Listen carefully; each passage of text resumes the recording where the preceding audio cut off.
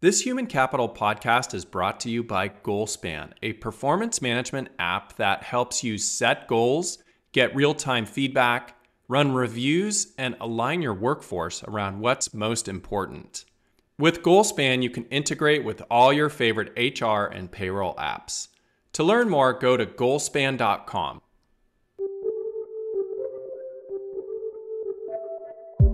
Welcome to the Human Capital Podcast. I'm your host, Jeff Hunt. When I think about new technologies at work, it seems that they typically start out with a small number of people in a few departments. But as the value of the technology is demonstrated, eventually everyone in the organization finds a way to use it. Artificial intelligence, and specifically generative AI, is currently experiencing this kind of adoption curve but the pace of adoption is accelerating like nothing we've seen in the last decade, which is why governments and businesses alike are struggling to keep up. To give you an example, ChatGPT reached 100 million new users within its first two months. Today, we're going to talk about the macro and microeconomic trends that are driving the adoption of AI. We will talk about how leaders can utilize AI without compromising the most valuable asset they have, their people. Today, I am welcoming to the podcast an expert in this field, Rob Seamans. Rob is associate professor at the NYU Stern School of Business, where he is the director of the Center for the Future of Management.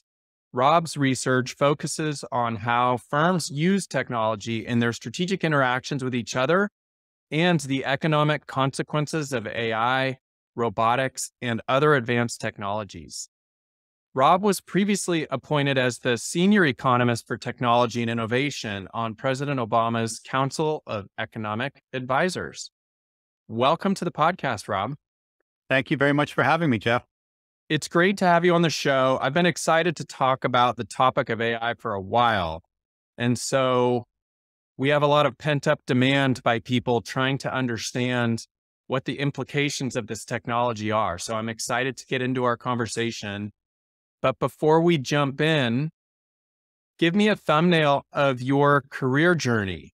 And also, if you can, share if there was anyone who inspired you along the way.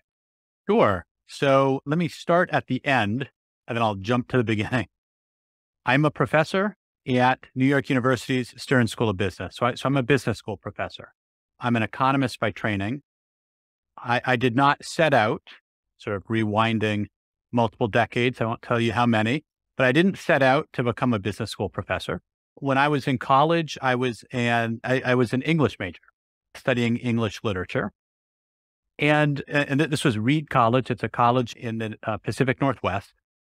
As an English literature major, you had to do a minor in a foreign language, or the equivalent of a minor in foreign language. And so I did my minor in Chinese, and I realized that in order to really fully understand the language, I needed to actually spend a school year abroad in China. And so I did. This was in 1991, 1992. Sorry, sorry, 1993, 1994. I did a school year abroad in China.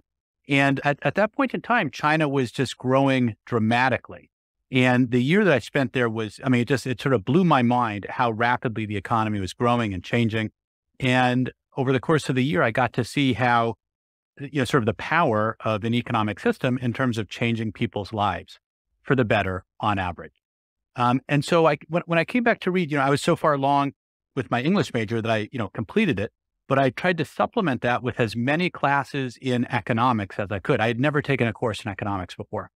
I graduated. I worked for a couple of years. I went then back to graduate school and I did an MBA and then an, uh, a master's in economics and realized that, you know, really what I wanted to be doing was to be studying economic type questions from, you know, in, in terms of at the firm level. So, you know, so how are certain technologies, let's say, affecting the economics of a firm or the economics of a region and things like that. And so I went to graduate school to pursue that, graduated in 2009, and then ended up here at New York University's Stern School of Business. So sorry, so, so that, that was probably more than you bargained for, Jeff but you asked me and it was not a, a, straightforward trajectory and hence you know it was a little bit of a mouthful there now let me come to your question uh, somebody who has inspired me so first of all many many people have inspired me over the course of of my life over the course of my career but i do want to highlight one person which was uh, one of my english literature professors She, she, I found her incredibly inspiring because she was really tough. And I was so nervous to take this very tough class that she offered. Her name was Gail Sherman, a, an English literature professor at Reed College. Her specialty was Geoffrey Chaucer. Everybody said, sort of warned me how tough of a professor she was. And I told myself, okay, I'm going to challenge myself. I'm going to take this class. I took it. I loved it. I loved working with her. And I, I ended up doing my senior thesis. Every student at Reed has to do a senior thesis. I did my senior thesis on Geoffrey Chaucer, in, in particular, a character called the Wife of Bath that's part of the Canterbury Tales. Anyway, that has nothing to do with my current career, but it taught me, but it taught me a really interesting lesson, which is to not shy away from things that seem challenging because it could be those things that actually, in, in many cases, are most inspiring. And, and so in that specific instance, I thought about shying away from taking that class from her, but in fact, it actually led to a whole bunch of super interesting things that I did with her as part of my senior thesis. So, so I'm glad I didn't shy away from it. And then the life lesson from then on, for, for me at least, has been again, not to sort of shy away from stuff that feels like it might be challenging because it could be a great opportunity. I love that story. And it's such a great example of how these people in our lives that push us to stretch often are the ones that help shape us into who we are today. And we never, we almost never regret pushing ourselves and stretching ourselves. I love your story about the year abroad in China, Rob, because that had to be a stretch. Was there like a memory that you were taking away from that that was a powerful memory from that time abroad? The one that I think is most closely tied to what I was describing earlier was this person. And I, am ashamed to say I can't remember his name and we have not stayed in touch. But, but it was a person who lived in the neighborhood right near the school that, that I was attending who operated what's called a, a jianbing cart. So th- these are these small little savory pancakes that get made. So that was his business. That's how I got to know him. I was a frequent customer of these jianbings he made enough money from that to be able to purchase a taxi cab. And then over sort of the second half of the year, he was driving the taxi cab around, ended up earning enough money from that to purchase a condo for his mother in a nearby housing, sort of housing area. And, and so just seeing the, the dramatic changes in his life over the course of not even a year, it was over the course of 10 months, just for me was eye opening. So that's an anecdote. I can see how that would inspire your interest in economics, just that one little example uh, with this guy. And Rob, you've done so much research on the use of robotics and AI, both in the US and other countries. I'd love to start our conversation with what some of your key findings are. Again, Jeff, th- thanks for inviting me onto the show. and I'm really looking forward to digging in on all of this. There's many different findings that one could highlight. Let's start, and, and you know, the, the, there of course are, are differences between robots and AI, and I think we'll, of course, we'll sort of get into that. But let me start with robots. One of the recent findings that, that I find fascinating, that this comes from some research using data from the U.S. Census Bureau. It turns out that the distribution of robots within the U.S. is highly, highly skewed. So there are some areas that have many more robots than you might expect. Uh, sorry, I say some areas, so, some plant in some areas have many more robots than you might expect. Now, it turns out that that's even conditioning on the, the industries in that area. So imagine we're focused only on manufacturing plants in the automotive sector. There are some places where you see lots of adoption and use of robots in that sector, and then other geographies where you see hardly any adoption at all. And it seems like the presence of specialized human capital matters a lot in terms of explaining that pattern. So, so, so that, that's something that I find pretty interesting because I think it suggests that, at least when it comes to robots, there are going to be some areas where you see a whole lot of adoption, other areas where you don't see a lot of adoption. And then to the extent there might be that there might be positive or negative spillovers from the adoption of these robots, it, it feels like that's going to be concentrated in certain areas uh, instead of widespread across the US. Anecdotally, I, I've started to dig into some data on adoption and use of AI at the establishment level. And it looks, again, like there's some of these same patterns where uh, there, there's sort of highly skewed adoption. There, there's some areas, again, conditional, even conditional on industry. So we're looking at the exact same industry, but there's some areas where you see a whole lot of adoption of AI and then other areas where you see very little adoption. I don't exactly yet know why that is, But again, I, I think probably the presence of things like specialized human capital and other complementary assets will be factors that matter a lot in terms of explaining that pattern. That makes sense. And the other thing too is on this show, we talk a lot about corporate culture, but there's also ethnic culture among different countries. And when you think about the use of robotics and AI in different countries and, and the US, what are, are, have you seen some differences? I know you've done some research in Japan, but what have you found there as well? Yeah, uh, so, so I haven't done research in Japan. I, have done some research in China, uh, research in the US. Um, I, I, know of other folks that have looked at the adoption and use of robots in Japan. Since you mentioned Japan, let, us talk about that first.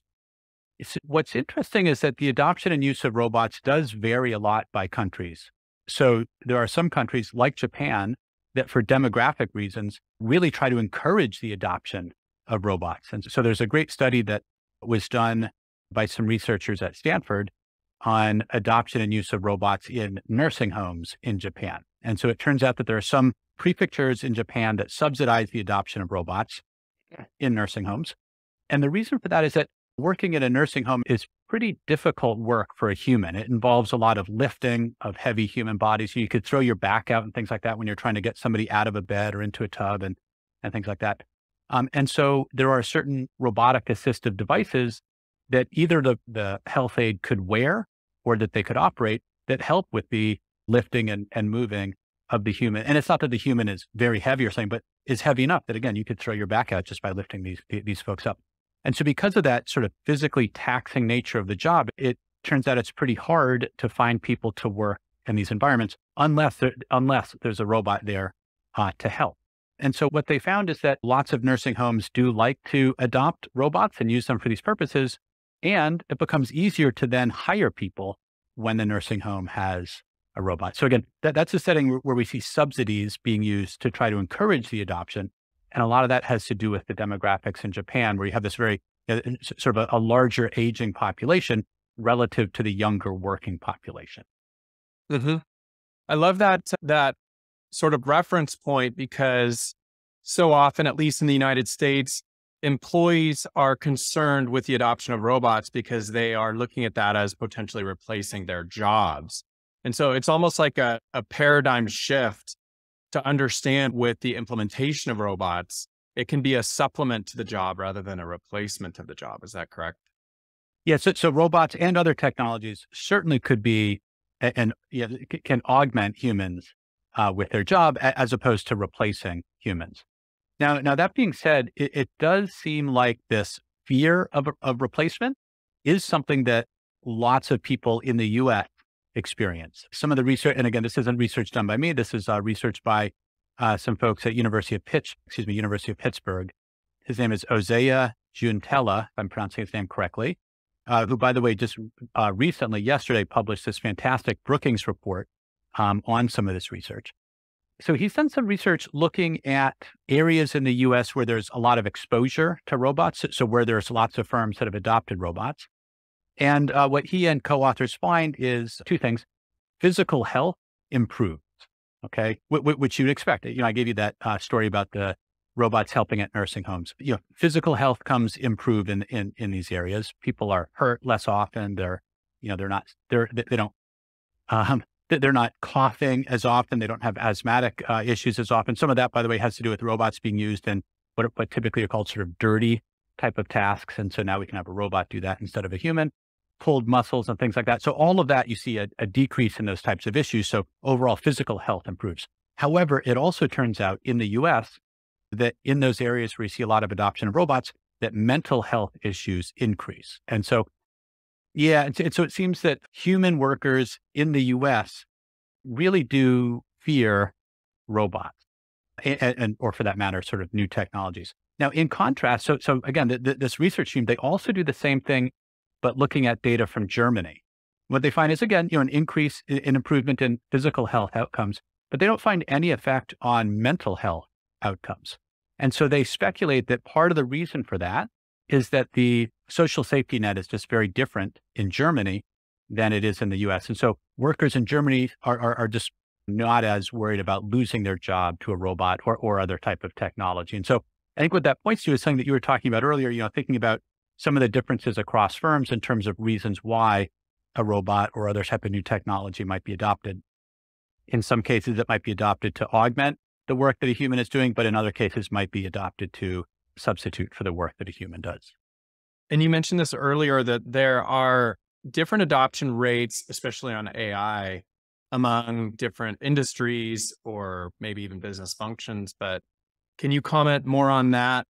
Yes. So, uh, so other uh, folks have, have looked at this, and there are very clear patterns that that emerge from this, where you have certain industries like IT and finance, where excuse me, where you see relatively high levels of, of adoption, and then certain other industries like construction, where there's relatively low levels of adoption. One of the surprising ones is healthcare. So there's some very nice research that, that's been done by Avi Goldfarb. He's a professor at University of Toronto. Florenta uh, Teodoridis, who's at University of Southern California. And then Bledi Taska, he's the chief economist of a firm called Burning Glass that actually provides this data. And what they uh, what, what they find from analyzing this data is that the healthcare sector in the U.S. is, I think it's uh, according to their data, sort, sort of the, the, the second lowest adopter. Lowest is is construction industry. Second lowest is healthcare. And it's interesting because there is so much data that healthcare providers collect on you and me and, and everybody else. And so it, it feels like the type of industry that would be right for a whole lot of use of AI, right? You could digitize a lot of digital, rec- you know, a, a, lot of the records and, and, and things like that. Uh, potentially, there are lots of productivity gains that could be had, and yet there's very little adoption of AI in that sector. And th- th- they point to some potential reasons why, and some of it might might have to do with regulation, and some of that varies across states in the U.S. as well as you know just overall federal regulation. There's also different requirements with uh, insurance providers. There, there's also just the presence of these very old legacy systems and, and, and things like that. So in, any case, uh, healthcare is one of these sectors where it's sort of surprising. I, I would have expected much more adoption, but turns out there's very little adoption. Now, when you look at productivity increases, do you have any research on how much productivity is increasing by the adoption of AI tools? At a macro level, the short answer is no. Economists care a lot about this and are eager to see it in the data, and it's not yet there in the data. You can look at macro level studies. You know, so macro level studies have been done of adoption of robots, and you do see an effect on economic growth. It looks like, on average, uh, again, this is sort of at the national level. It looks like robots have probably contributed a, about 10% to economic growth over the prior couple of decades. And, and to put that into perspective, it would be, you know, may, maybe moving from, you know, again, on average across the countries in, in this uh, sample, you know, maybe moving from sort of 3% to, you know, 3.3 uh, percent in terms of GDP growth or something like that. Uh, so one would hope that uh, eventually we would see something like that for AI, but it, it's way too early to to see something like that in the data. Now that that being said, there are a number of recent papers, and by recent, I mean, you know, the last six to 12 months that, that have come out that have been looking in particular at generative AI and looking at very specific uses of generative AI inside firms. And they do find productivity effects. These are productivity effects that are very specific to the actual setting, to the actual implementation. And so, so just to give you a sense of this, one of the studies was looking at something called GitHub Copilot. So GitHub is a sort of a repository for software code that, that a lot of people use. And a lot, so over the past decade or so, a lot of people have put a lot of software code into this online repository. What GitHub has done is they have analyzed all of that software code to try to predict patterns in coding. So if I, so if me as a coder, if I start to code something, GitHub can sort of look at the entire corpus of code that they have to get a good sense of what code might come next based on what I've been coding up. And so they developed a tool around this called GitHub Copilot that folks can now use if they, if they want. And the study that they did on this found that software developers or software coders that rely on GitHub Copilot uh, experience an increase in productivity. I forget exactly what, what they estimated in terms of the, the, the point value, let's say, of of the increase in productivity, but it was a substantial increase in productivity. Now, one of the things that's interesting is that most of those productivity gains uh, came from the, the less experienced coders. The, the more experienced coders had a little bit of a bump to their productivity, but it was really the less experienced coders that experienced a sizable bump So sort of bringing them up almost to being on par with the more experienced coders. And so I think what that study does is that it hints at how potentially game changing some of these new generative AI technologies can be. You, you might think about a, a, worker shifting from one occupation to another or from one job function to another. And you worry about, you know, boy, it's going to take them years to get up to speed in terms of what it is that they need to do in this new job function. However, perhaps with the help of generative AI, they can more quickly move up that learning curve. And so I, I find that exciting and hopefully points to a whole lot of productivity gains that we will get from AI. But to your original question, no, we don't yet see that in the macro data, but hopefully we will.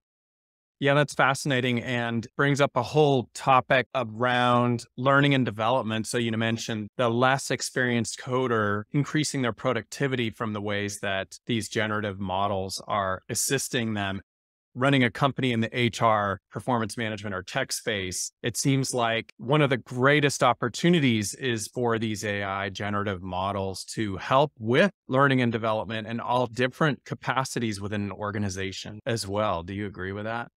Yes, absolutely. I completely agree with that. I, I think that the one sort of slightly tricky thing is just because you find that AI or generative AI can help in one instance within a company, within one function within a company, taking it and sort of spreading it to the rest of the company is not necessarily an easy task, right? I mean, it, it might be a completely different algorithm that you need that's trained off of completely different data and, and, and things like that. And, and, then, you know, let alone moving from one company to another company that might have slightly different data and maybe uh, slightly different processes, you know, sort of uh, internal business processes that matter for them, you know, relative to a different company.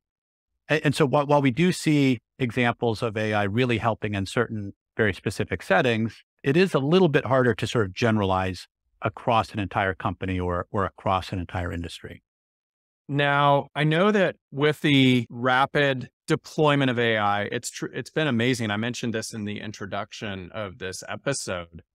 It feels like it's faster than any technology we've seen in a very, very long time with that comes a lot of unknowns. There's there are unknowns for business leaders and executives and those in the C-suite that are trying to figure out how to adopt these technologies in the right way and not have them be a distraction, but have them be able to actually add value to the ways that they help their customers and their employees. And there are concerns for employees that, as, as we mentioned earlier, may be thinking about job security.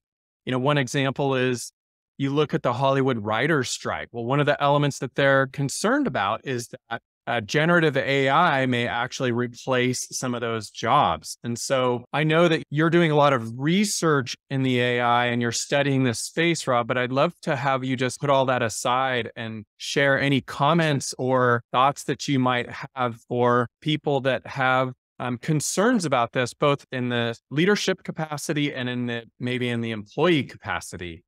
Okay, so that, that that's a big task that you've given me, but but but that's okay. I give out tough homework to my students, and I expect them to mm-hmm. deliver. So I, I should it's it's okay for me to be on the receiving end, I guess. So th- I, three points. One, from the firm point of view, firms absolutely need to be leaning into this moment. There's no question that what AI and in particular what generative AI can do is, you know, it, it's there's been sort of a kink in terms of at least in terms of what, what we see that it can do. I mean, there's sort of been a dramatic uh, improvement and, and, sort of increase in, in performance. And it looks like the technology can be very, very helpful, at least in certain settings. And so as a business leader, you should be experimenting with this new technology and trying to think in, in a little bit of like a brainstormy type way about different ways that you could be using the technology. That, that's from the firm point of view. So from a worker or employee point of view, I, th- I think it's uh, the, the, same type of thing. I mean, AI, generative AI, these large language models are going to change the way that we do work. I, I, I, think it'll mostly augment the way that we do work, much in the way that a computer augments the way that we work, much in the way that the internet augments the way that we work, we do work. I think that AI and, and large language models, generative AI also will augment, for the most part, will augment the work that we do rather than replace the work that we do. But that, that being said, I think that there's a lot of opportunity here. So I think there's a, it, it's not clear for anybody's given job or for any occupation or for any industry exactly the way in which these new technologies will be used. And so I think it's a, I think it's an opportunity for workers to try to figure that out, right? Try to figure out ways in which you can use these new technologies to make your job easier, to make your boss's job easier, and ways in which the technology really doesn't work very well. And I think it's the, the those employees, that those workers that sort of lean into this moment and become as skillful with this new technology as they can. I think it's those workers that are going to be that, that will do well and, and, sort of benefit from this new technology. So that, that, that was sort of the, the, the, second bucket. And then, and then there, there was sort of a, a third uh, bucket of comment that, that I wanted to make that was sort of linked, that sort of mentioned a little bit about when it came to the firms and when it came to the workers. And that's that you know, we really are in the middle of something right now, and we don't know what things are going to look like in the future, right? N- nobody knows exactly how large language models are going to affect, say, the education industry or how large language models are going to affect the insurance industry. There are lots of people that are, that express a lot of confidence about how they think these things are going to play out, but they don't know, right? That people are making predictions and people make predictions with maybe more confidence or less confidence. So I, I think that, that there is a lot that's up in the air, a lot that's sort of uncertain. And so again, I think that that, from my point of view, that suggests that there's a lot of opportunity. And I think I would really try to highlight that, especially for anybody who's worried about the technology. Instead of being worried about it, think about how many opportunities it potentially can provide.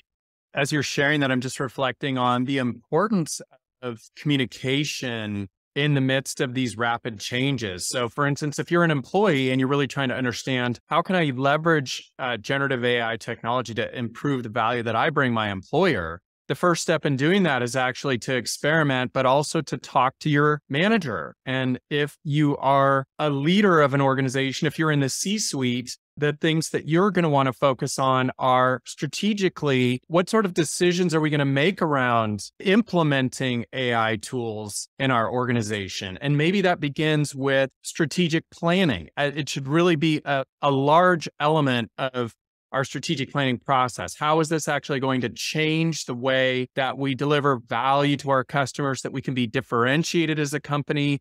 How is it going to change the way that we can actually improve our culture and improve our productivity internally? So we can either be proactive or reactive in our approach. So it sounds like what you're saying is being proactive and thinking these things through and experimenting and communicating is really going to be the pathway to leveraging them to the fullest.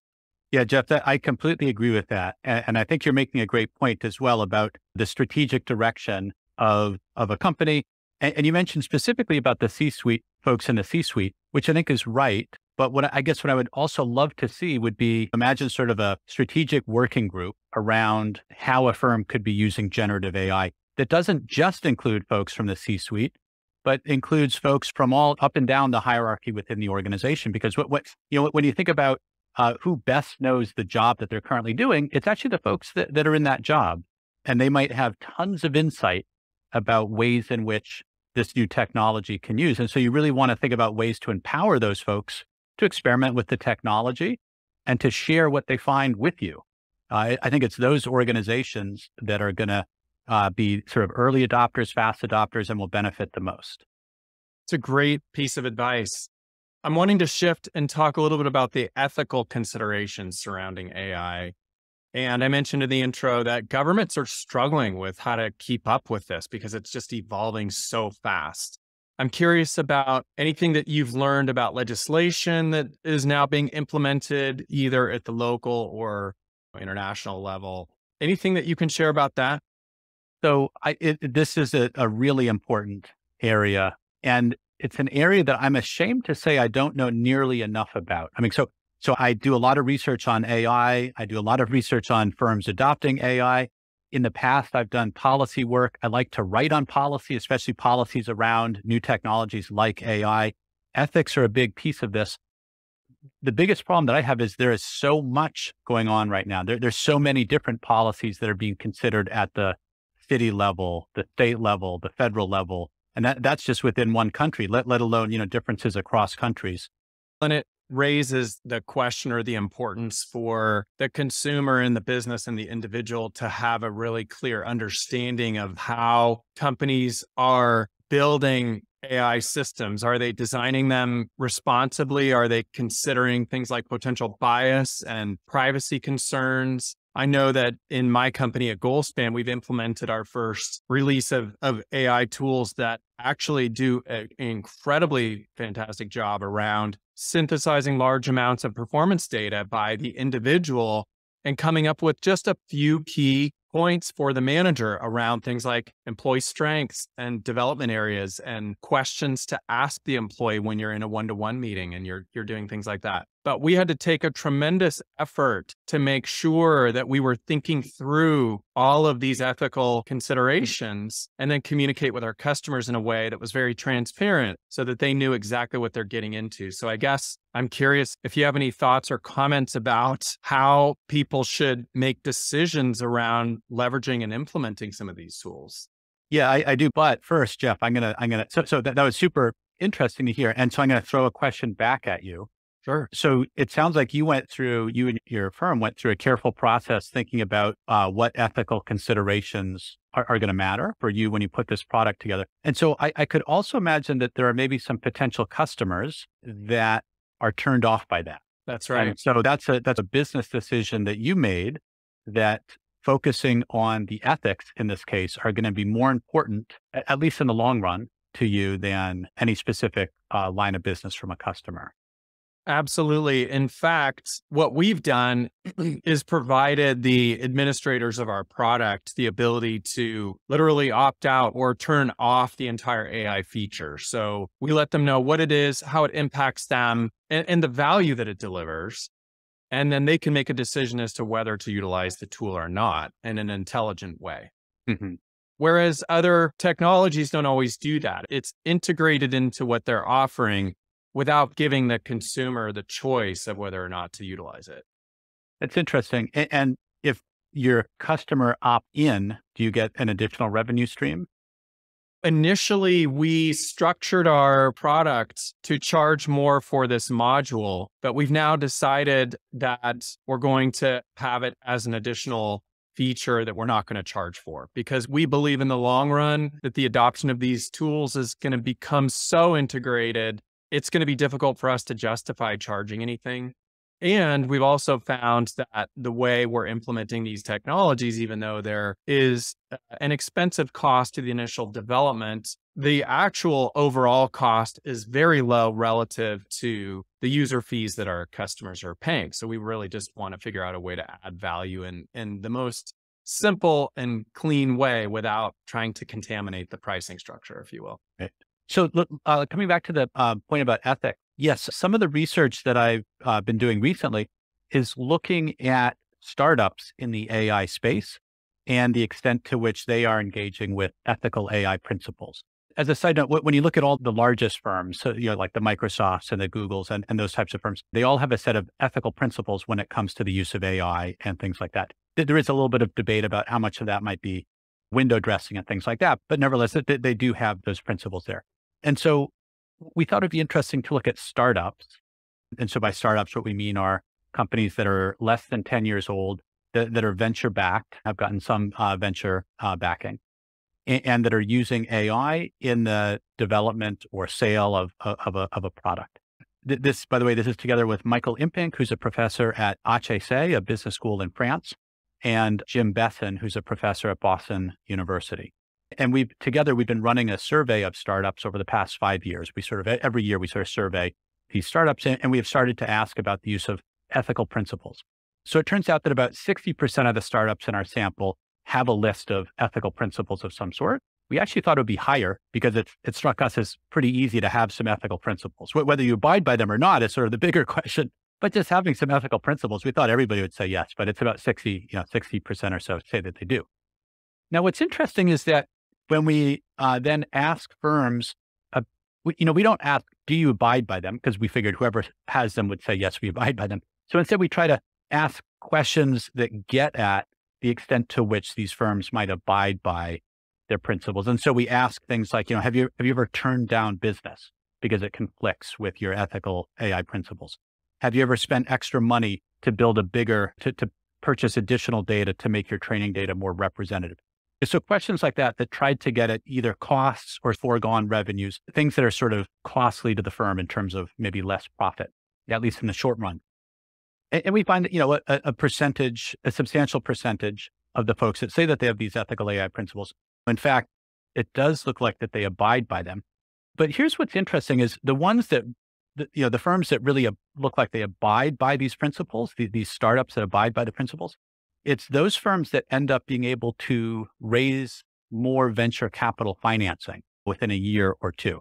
Whereas the ones that just have the window dressing type of ethical AI principles, and it doesn't look like they necessarily abide by it, it, it looks like they, they end up a couple years down the road having a harder time raising additional follow on venture capital financing. And so to us, it sort of suggests that while in the short run, there might be some cost to you, in the longer run, having these principles and abiding by them can be, can enhance the, the performance of a firm. So we, we, we found that interesting.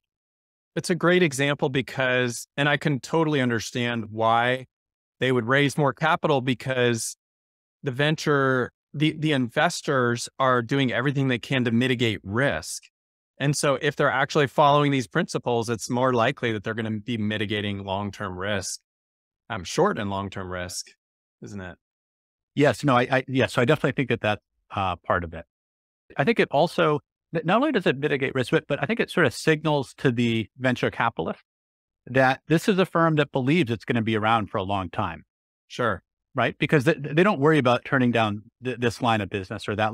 It, it's not going to matter five to 10 years from now when we're making billions and billions of dollars. Like really what matters now is we have a certain belief about the world and how to approach it. We've tried to encapsulate those in our ethical AI principles. And you know what? We, we back that up as an investor, th- that would give me some confidence in investing in a firm. Makes perfect sense. Okay, Rob, as we begin to wrap up, I've got some simple lightning round questions to throw at you. So, can we shift into that? Yes, I'm ready. The first one is What are you most grateful for? I'm grateful for this job that I have. I love being a professor. What is the most difficult leadership lesson that you've learned over your career? And this is supposed to be lightning round. um, you know, okay. So the the answer is that you never really, you, you never quite know, at least in my job, when it is that you'll be thrust into a leadership position. You know, part of the reason why I got into the job of being a professor is because I didn't want to be a manager at a firm. I wanted to have the 10,000 foot view of things. But it turns out that as you advance in your career as a professor, suddenly you get thrust into these leadership positions without fully realizing it. Who's one person you would interview if you could, living or not? Bill Gates. What's your top book recommendation? You know, I mentioned Chaucer's Canterbury Tales earlier. I don't know if that would be my top recommendation, but I think that's one to one to consider, one that folks should have on their list. What's the best piece of advice you've ever received? I've received lots and lots of advice the best piece of advice that I've ever received was from an elementary school teacher who came up to me after I totally bombed at a school assembly trying to ad lib an announcement. I was on the student council. I was trying to ad lib an announcement to the to the class. And I totally bombed. And he came up to me and he said, "When you're gonna be, when you're gonna do public presentations, you have to prep ahead of time." Seems straightforward. I just I forget how old I was. Uh, you know, I was like ten or eleven at the time. I'd never thought of that. That was probably the single biggest, you know, best piece of advice I've ever gotten. You've brought so much wisdom to the podcast today. And if you had to synthesize one or two key takeaways for our listeners, what would you want to leave people with? So we touched a little bit on the uh, substitution versus augmentation. So I want to come back to that. I think that there's, you know, there's lots of pieces in the news, you know, lots of articles in the news that really try to highlight this. You know, is the technology going to substitute for us or is it going to augment what we do? And, and, and a lot of that is actually tends to be tilted more towards the substitution. And it seems like the sort of scare stories sell. There certainly will be a little bit of that, but I really think there's going to be a lot more augmentation than there's going to be substitution of human work. And again, I, I just think back to the examples of the personal computer or the internet these are tools that we use in our jobs. AI is a tool like these. We will be using We will be using it. Our jobs are going to change, but m- most jobs will still be around. It's just that, you know, the nature of the work in those jobs will have changed. Rob, I loved our conversation today. Thanks so much for coming on the podcast. Thank you, Jeff. I really appreciate it. Thanks for listening to Human Capital. If you like this show, please tell your friends and also take the time to go rate and review us. Human Capital is a production of Goalspan, your integrated source for performance management. Now go out and be the inspiration to other humans, and thank you for being human, kind.